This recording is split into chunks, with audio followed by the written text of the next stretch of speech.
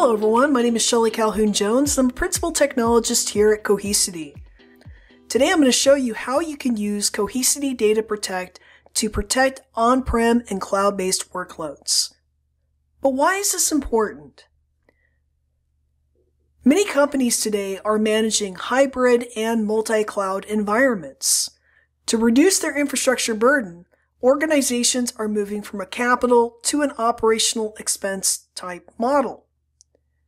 Now, in the past, when data centers were managed on-prem, organizations had to plan out their costs to cover hardware, staffing, and other resources. However, with cloud services, operational expenses are used, which means that you can use a pay-as-you-go approach. This type of approach allows companies to get the latest innovations and become more agile. Now, in this context, we're going to explore how this approach can be used with AWS workloads. In this video, we'll take a tour of Cohesity Data Protect, protect an EC2 instance, and recover an RDS instance. Right now, I'm currently on the global page.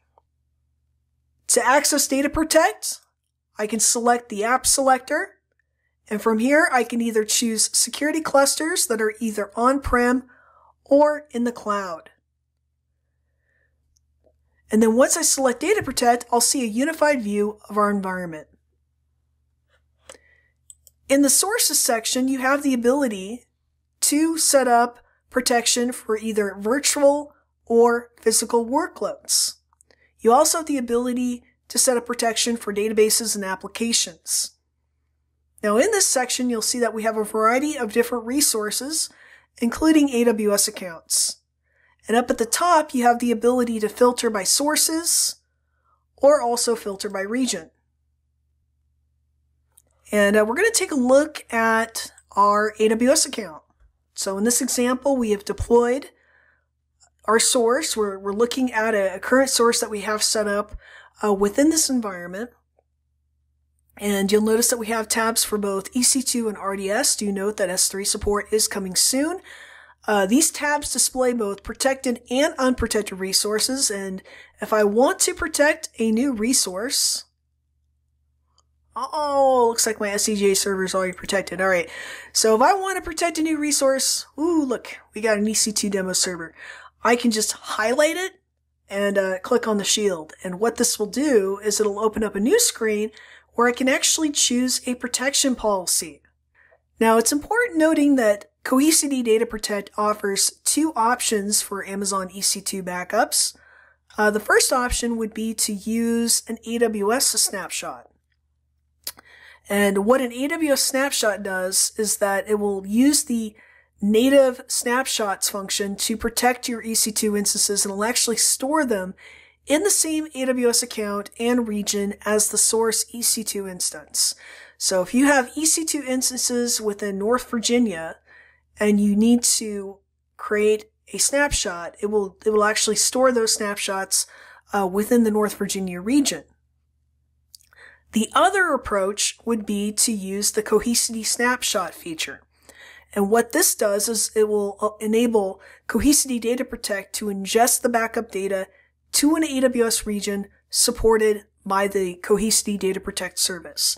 You can find our supported regions within our documentation, uh, but the idea is that this is, would be the destination region that we saw during that source registration. So if I were to choose North Virginia or Northern California as my destination region, it's going to save the snapshots to that region in a Cohesity native format.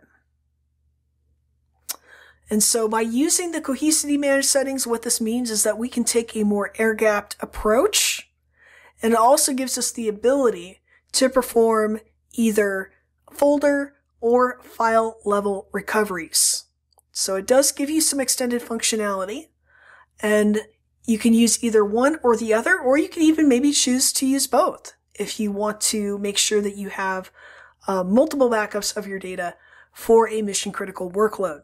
But for this demonstration, let's go ahead and just click on protect and we're going to take a closer look at a protection policy.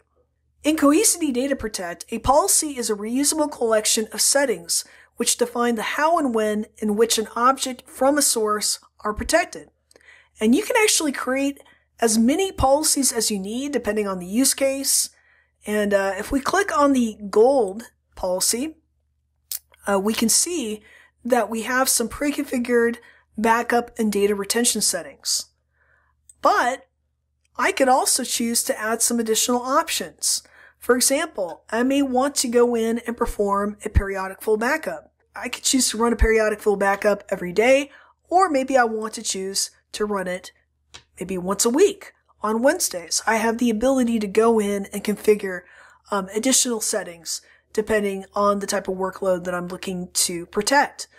Also, you'll notice that we have the ability to choose quiet times if you do have certain times during the week where you perform uh, periodic maintenance. You could choose to um, pick a particular quiet time window, and you can also go in and customize uh, the data retention settings.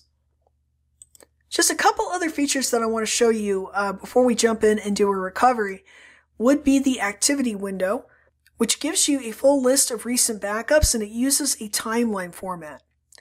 I have the ability to filter based off of region, uh, whether or not the task was successful, and also I can filter based off of the source type. I can even go in and change the date range. Maybe I want to look at backup activity that's happened uh, over the last week or maybe over the past 30 days.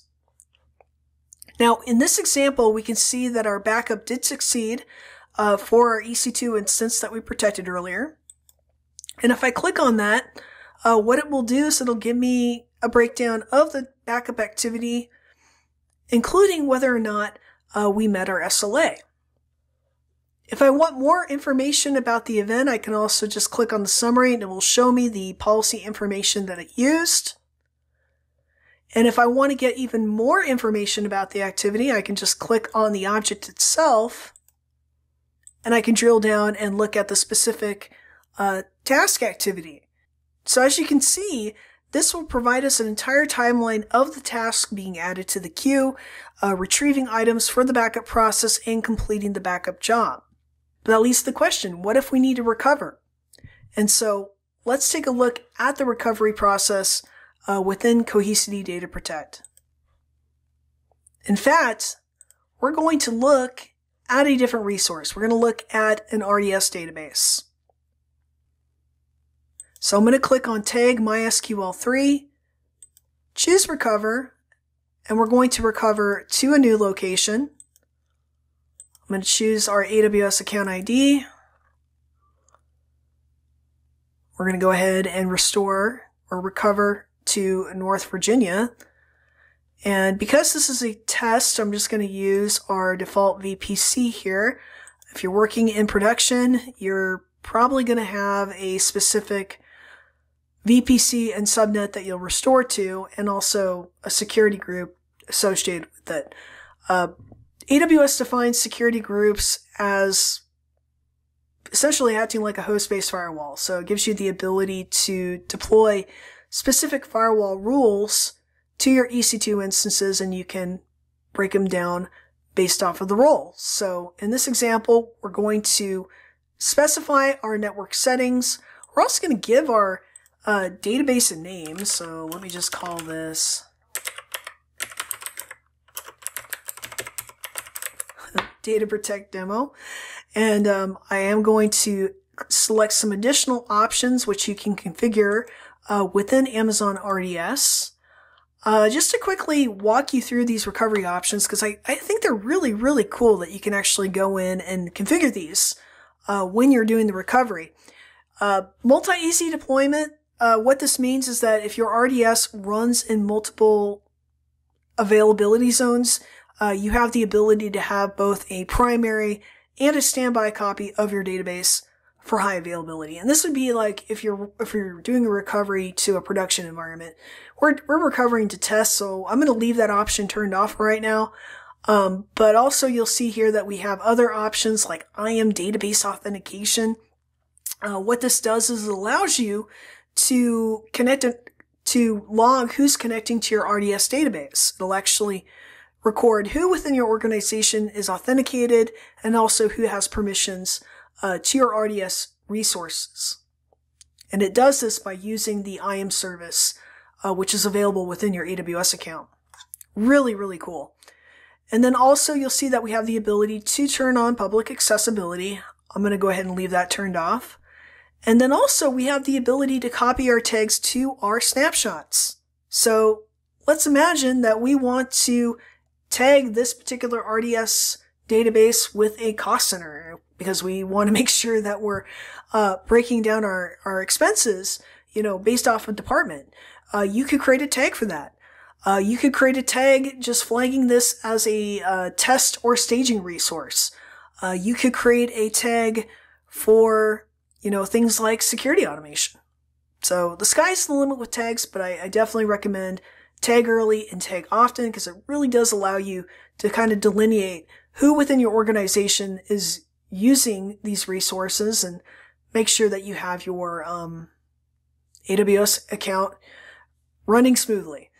So uh, one other feature I want to just quickly call out here before we start the uh, recovery process would be auto minor version upgrade.